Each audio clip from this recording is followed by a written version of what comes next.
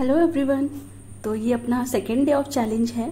इसलिए मैं रात को जल्दी सो गई थी 12 बजे से पहले ताकि मैं सुबह उठ पाऊँ टाइम पर क्योंकि चार साढ़े चार से पहले उठना है। बहुत तेज हो रहा है गुड मॉर्निंग जैसा कि आप टाइम देख सकते हैं तो मैं साढ़े चार बजे से पहले ही उठ चुकी हूँ।